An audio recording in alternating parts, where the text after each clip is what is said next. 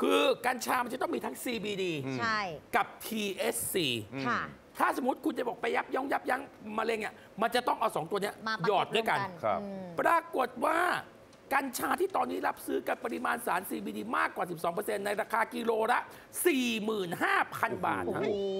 ไอช่อดอกแห้งอะนะอ่าต้องมี CBD มากกว่า12%นะฮะ แล้วซึ่งตอนนี้นะครับ ใบเฉพาะใบอย่างเดียว อย่างที่มอดดำบอกใบกัญชาสดๆเนี่ย มีราคาอยู่ที่กิโลกรัมละ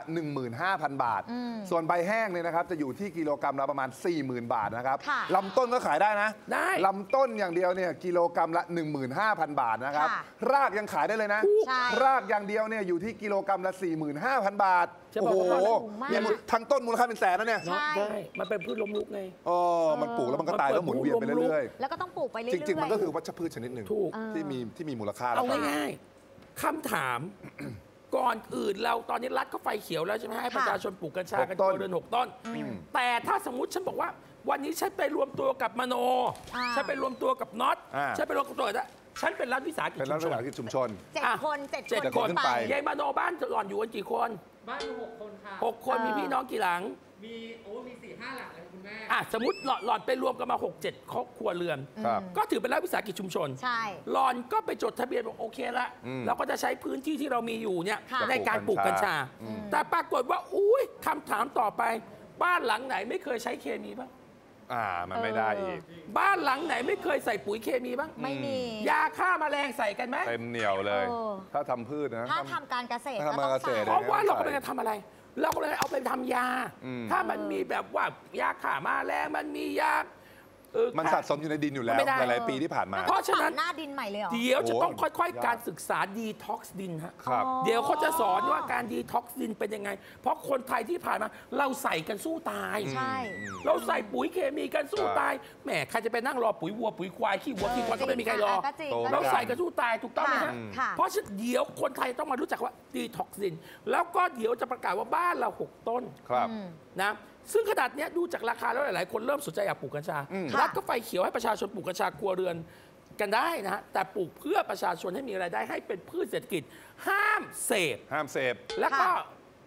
จำกัดให้ปลูกได้บ้านละหกต้น วันเนี้ยที่บุรีรัมย์คุณอนุทินชาญวีรกูลเนี่ยนะฮะประประธานเปิดมหกรรมกัญชากัญชา 360 องศาเนี่ย เป็นงานที่สร้างความรู้ความเข้าใจเกี่ยวกับกัญชาด้วย แล้วก็ครับกัญชงด้วย ประชาชนเอาสามารถเอาไปสร้างรายได้ แล้วก็ทำเป็นพืชเศรษฐกิจได้ในงานเนี่ยเขามีอบรมหลายอย่างเลย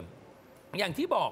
ว่าวันนี้คุณอนุทินเขาว่ายังไงคุณน็อตครับคุณอนุทินนะครับได้บอกว่าขณะนี้นะครับกัญชาและกัญชงเนี่ยถือเป็นพืชเศรษฐกิจแล้วนะฮะทำให้ประชาชนได้มีทางเลือกในการสร้างรายได้ค่ะมีทางที่จะลืมตาอ้าปากได้จากพืชเศรษฐกิจตัวใหม่ ซึ่งเรานะครับพยายามที่จะคลายล็อกให้กับประชาชนเข้าถึงได้ง่ายมากยิ่งขึ้น แต่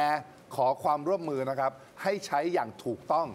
ซึ่งถ้าใครสนใจนะครับก็สามารถเข้าร่วมงานได้ตั้งแต่วันนี้ ถึงวันที่ 7 มีนาคมนี้ครับเออผมน่าสนใจเข้าไปดูในเนอะงานดีกว่า เออจะได้คุณจะปลูกกัญชาอย่างไรให้มันถูกต้องแล้วไม่โดนจับ ใช่ แล้วปลูกยังไงให้สามารถสร้างมูลค่าได้เยอะอย่างที่เขา พูดกันจริงๆหมื่นห้าพันบาทสี่หมื่นห้าพันไม่บาทใช่แต่เนี่ยตอนนี้มันจะมีคลินิกกัญชา อืม เดี๋ยวเราจะได้ใช้กัญชาในการรักษาโรคกันครับเยอะพอสมควร แต่ว่าเดี๋ยวนี้อาหารน่ะหลาย ๆ ร้านอาหารใช้ได้หมดแล้ว ก็เริ่ใส่กัญชาแล้วใช้ได้หมดแล้วอีน้อง ล่าสุดใช่มีทำเมนูกัญชาเต็มไปหมดเลย ไอศกรีอุ๊ยกัญชาฉันไปกินเทมปุระกัญชามาไงอ๋อเหรอเออทอดเป็นใบอใบนะเอาใบมาทำเป็นใบและนี่นี่ล่าสุดเนี่ยนี่นี่พวกตามคาเฟ่มีไอศครีมกัญชามีกัญแล้ชาวแล้ว ไหนแล้วเป็นไงเธอกินแล้วเป็นไง นี่ไงนี่เนี่ยนี่นี่นี่นี่นี่ไหนเออเป็นนี่นี่นี่เหรอ แต่กินใบไม่เมานะ ไม่เมาไม่เมานี่นี่ฉันไปกินไปกับใครฉันไปกินกับเพื่อนๆฉันตอนที่ฉันตกงาน 3 วันอ๋อร้านได้ร้านมีอาโอหารกาส อันนี้ร้านญี่ปุ่นใช่ไหมร้านญี่ปุ่นโอมากาเขนี่นี่นี่นี่ ใบกัญชามาทำนี่เทมปุระนี่นี่นี่ อุ้ยวางอูนิเข้าไปด้วยอะ วางอูนิบนใบกัญชา ใส่เข้ไปในใบกัญชาใช่เทมปุระเออไปแล้วเคี้ยวไปเป็นยังไง อธิบาย อ๋อร้านที่เคยมารายการเราไงโกโก้ไงแล้วแล้วเคี้ยวแล้วเป็นไงอร่อย อร่อย อร่อย หรอ